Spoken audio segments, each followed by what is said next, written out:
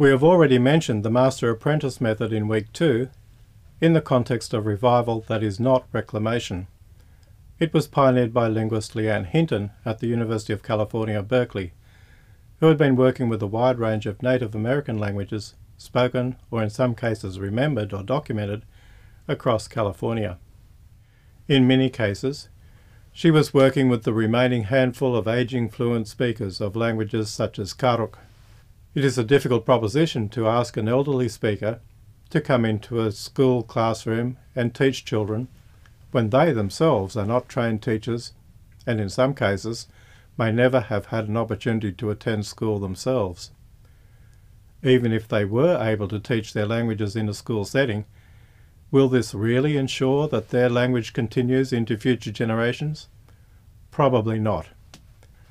What is more effective and more lasting is to ensure that highly motivated young adults who are themselves owners, custodians of the language, gain a sound knowledge of and fluency in their language.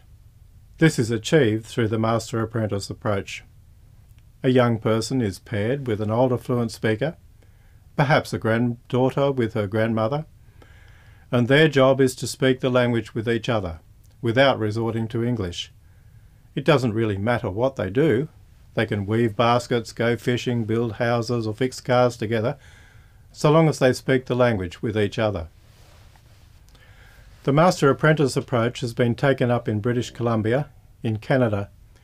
In Kununurra, in northwest of Australia, trainers from California, including Leanne Hinton and Karuk woman Crystal Richardson, have travelled to Australia to share their method and their experiences with a range of participants. Several sets of parents from various language groups have made a major commitment to ensure that their, their children are raised as speakers of their language by homeschooling their children in their ancestral language. In 1991, parents Daryl and Karen Baldwin set about raising their four children as first language speakers of Myaamia through homeschooling. These children are now the first native speakers of Myaamia in recent times.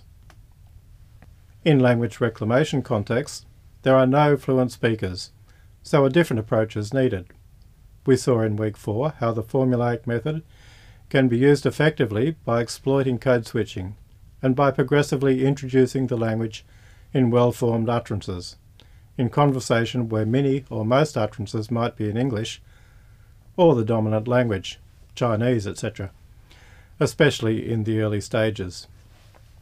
The training of language workers and language teachers is also a very important element of successful language revival, so that owners, custodians, speakers are empowered to run their own programs and teach their own languages.